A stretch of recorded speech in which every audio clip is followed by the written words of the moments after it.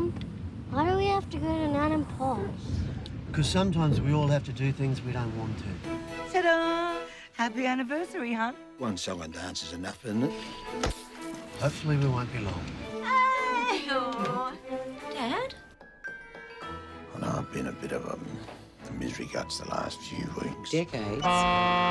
There wouldn't be a single person living here in Greenhaven who's not just as happy here as the day they were born.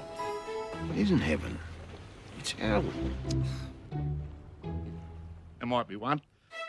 Well, we thought you deserved something really special. Jesus H. Christ. Mystery train tour.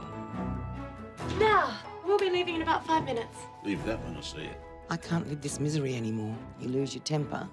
You lose me. Adventurous travelers, it is my sweetest pleasure to share with you Greenhaven.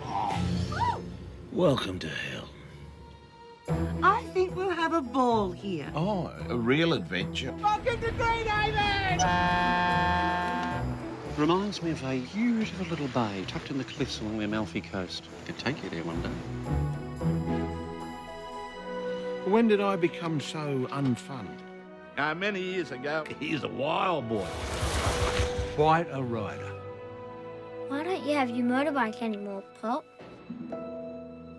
A horrible accident, and he never rode it again. Hasn't done anything since. Stay because I love you. When was the last time you showed me?